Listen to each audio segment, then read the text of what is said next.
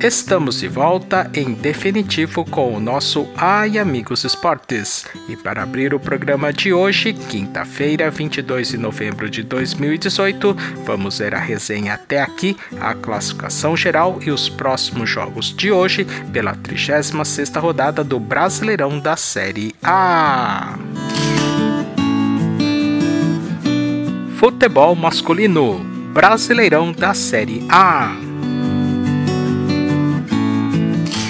A 36ª rodada termina hoje, quinta-feira, 22 de novembro.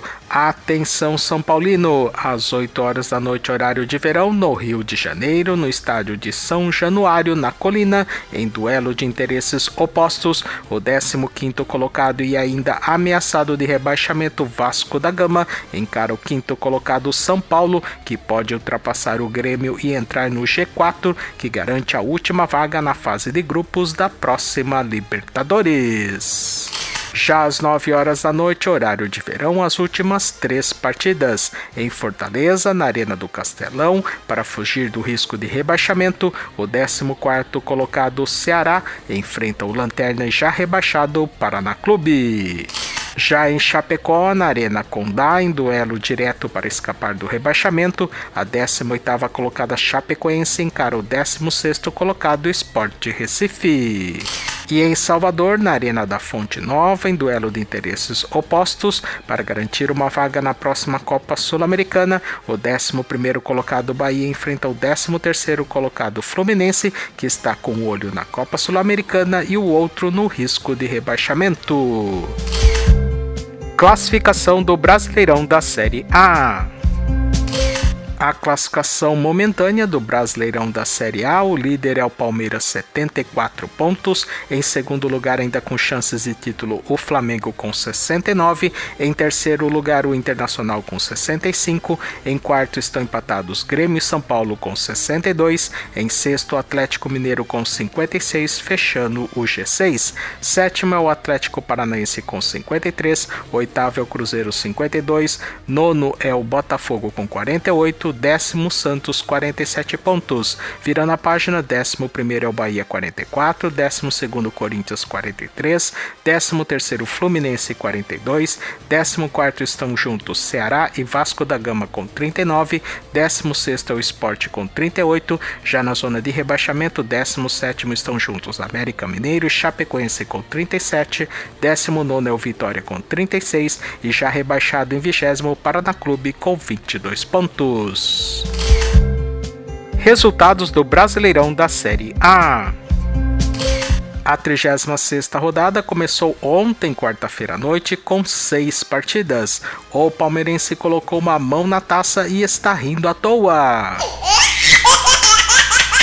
Na capital paulista, na arena do Allianz Parque, o líder Palmeiras ficou a dois pontos do título e goleou o América Mineiro. O Verdão só abriu a porteira aos 13 minutos do segundo tempo, com sorte de campeão. Lucas Lima cruzou, Messias cortou e a bola bateu no zagueiro Luan e só parou no fundo das sedes. O Palmeiras foi para cima e ampliou os 30 minutos em jogada trabalhada pelo carinha do jogo, o atacante Dudu, que rolou no capricho para o atacante William Bigode, que finalizou no contrapé do goleiro. O Verdão atropelou a partir dos 32 minutos da segunda etapa, com golaço do carinha do jogo, Dudu, que dominou e foi muito feliz, acertou um lindo chute de fora da área no ângulo de João Ricardo. E o Palmeiras goleou aos 36 minutos da etapa final e ficou com uma mão na taça. Mike cruzou na medida para o atacante Daverson marcar de cabeça para a euforia dos palmeirenses que acompanham o Ai Amigos Esportes. Resultados do Brasileirão da Série A. O palmeirense só não gritou é campeão porque no Rio de Janeiro, no estádio do Maracanã, o vice-líder Flamengo venceu com autoridade por 2 a 0 o quarto colocado Grêmio, que pode ser ultrapassado hoje pelo São Paulo.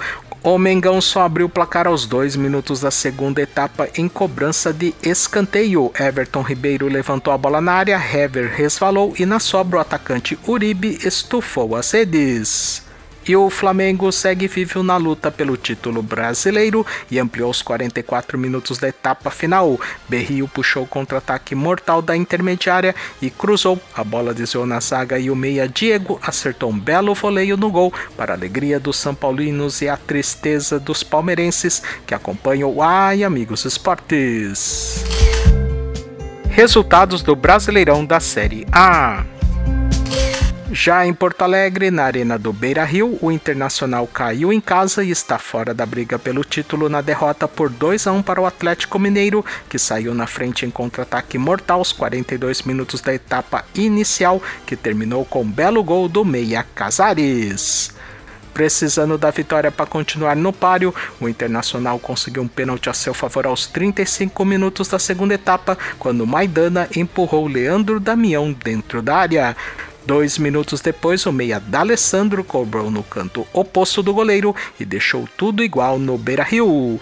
E o Galo Mineiro garantiu a vitória importante para assegurar a vaga na fase preliminar na próxima Libertadores aos 47 minutos da etapa final em outro contra-ataque mortal. Casares cruzou na medida para o meia David Terans, que desviou para o gol para a alegria dos palmeirenses e a tristeza dos santistas que acompanham o Ai Amigos Esportes. Resultados do Brasileirão da Série A.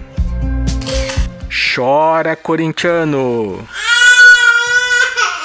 Em Curitiba, na Arena da Baixada, com gol de cabeça do zagueiro Léo Pereira, o sétimo colocado Atlético Paranaense segue na briga por uma vaga na fase preliminar na próxima Libertadores e venceu em casa o Corinthians, que conta os dias para acabar a temporada, para a tristeza dos corintianos que já pedem o retorno de Fábio Carilli ao presidente André Sanches e acompanham o Ai Amigos Esportes. Resultados do Brasileirão da Série A. Chora Santista! Em Santos, no estádio Urbano Caldeira, na Vila Belmiro, o empate com um gol para cada lado encerrou o sonho da Libertadores para o Santos e também para o Botafogo. O Peixe abriu o placar aos 35 minutos da primeira etapa, com o atacante Rodrigo, que chutou duas vezes no gol para vencer Gatito Fernandes. E o Fogão arrancou o empate aos 14 minutos da segunda etapa. Valência levantou a bola na área e, após dividida no alto, a bola sobrou nos pés de quem sabe, e o atacante Brenner estufou as redes para tristezas dos Santistas que acompanham Ai Amigos Esportes. Resultados do Brasileirão da Série A. E em Belo Horizonte, na Arena do Mineirão, já garantido na próxima Libertadores, o oitavo colocado Cruzeiro cumpriu tabela e atropelou em casa por 3 a 0 o 19 colocado Vitória, com gol contra do zagueiro Ardelan e dois gols do artilheiro Fred. Brasileirão da Série A. Mais em aiamigos.com.br.